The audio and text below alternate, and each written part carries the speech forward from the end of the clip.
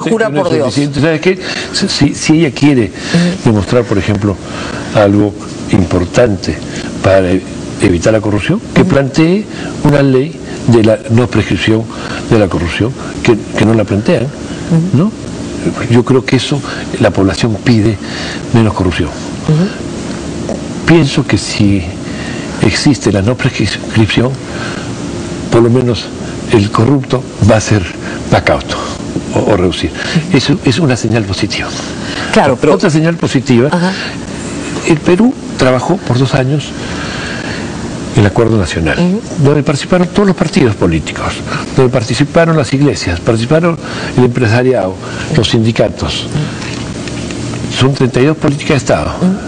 Entonces, nosotros sugerimos que lo firmen. Que lo firmen. Pero si eso se ha traducido en un plan que se llama el Plan Bicentenario, que han firmado todos los partidos políticos, excepto el de Ollanta Humala.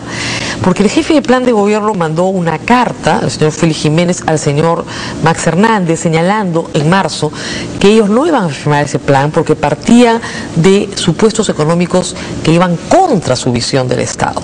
Y específicamente señalaban que el énfasis proexportador del plan bicentenario no tenía coincidencia con un plan en el cual las exportaciones iban a quedar relegadas porque se iba a desarrollar el mercado interno, el mercado nacional interno. Entonces no lo van a firmar. Está bien, pero el firmarlo te da una señal, porque el, plan, el Acuerdo Nacional lo que hace es más o menos marcarte la autopista por donde hay que navegar. Todavía está un poco ancha. pero, eso te da una garantía. Muy bien, supongamos que Ollanta firma el Acuerdo Nacional o el Plan Bicentenario, Keiko Fujimori saca una iniciativa para que los delitos no prescriban. ¿Ahí qué va a pasar con Perú Posible? Falta el tema de la mejor redistribución. los dos prometen, prometen harta redistribución. ¿ah? Nosotros, y creo que Keiko Fujimori desde una visión más clientelista, pero los dos prometen. que hay, hay dos, dos momentos. Uno es el de la elección, que nadie puede direccionar ni endosar los votos. Gracias. ¿no? no, a mí este lo que me preocupa, señor Reate, es que ustedes tienen más de veintitantos congresistas. Ese es el tema. Bueno, justamente por eso vamos. O sea, para la elección nadie puede direccionar. Así es. Va a salir elegido el que la población... Así es, decida. Ya. Nuestra misión ya está en el Congreso. Por eso. Entonces en el Congreso aquí el punto 3 de pronunciamiento por el Perú es seremos celosos guardianes de respeto a la democracia y al Estado de Derecho, la libertad de expresión, la plena vigencia de los derechos humanos, a la Constitución y a la no reelección inmediata. Cualquier modificación a la Carta Magna tiene que hacerse a través de los mecanismos constitucionales correspondientes. entonces usted, para resumir su posición, porque nos tenemos que despedir, es ni con Washington ni con Moscú, y, este, y vamos a defender estos principios en el Congreso. Sí, lo que pasa es que yo he dicho que entre Washington y Moscú está Europa, ¿no? Claro, también tampoco, claro pero digamos, este si usted tuviera que votar mañana, ¿votaría viciado? Eh, yo prefería decir que el voto secreto porque no voy a votar viciado.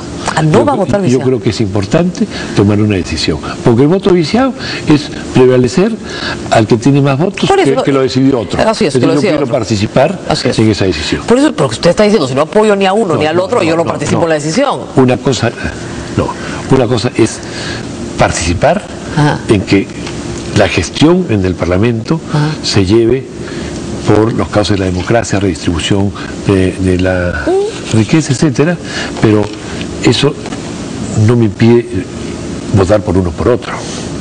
El voto es secreto y pero yo no dejaría al voto viciado porque ahí estoy prevaleciendo al que votó a la decisión de otro. Y cada uno de los miembros de Perú Posible va a decir por quién vota. No solamente los miembros, sino igual vamos a... El mensaje es que cada uno dé un voto a conciencia y punto. Y, después está el trabajo en el Congreso. ¿Le gusta el plan de gobierno de Humala? Usted ha dicho que no le gusta. No, no, lo que pasa es que ese plan de gobierno hay que poner la otra etapa. Yo tengo todo un trabajo y un resumen donde varios puntos coinciden con el de Perú posible. Pero es que es lógico, o sea, este, obviamente, mejorar la calidad de la educación, porque quién se va a oponer, ¿no? Es, mucho el nuestro ahí, Así ¿no? Es. Pero hay una parte donde no habla de una redistribución de, la riqueza, sino una igualdad de la riqueza, donde eso quisiera una, una aclaración, una aclaración más. Sí, sí. que la pongan por escrito, ¿no? Sería bueno. Bueno, este pronunciamiento se le entregó... No, ustedes sí. No, no, pero no es que le explico. Este pronunciamiento se le entregó a ellos y hemos quedado en tener una segunda reunión que puede darse de repente la próxima semana. Ojalá. Bueno, muy bien, muchísimas gracias, señor Reate. Vamos a una pausa y volvemos.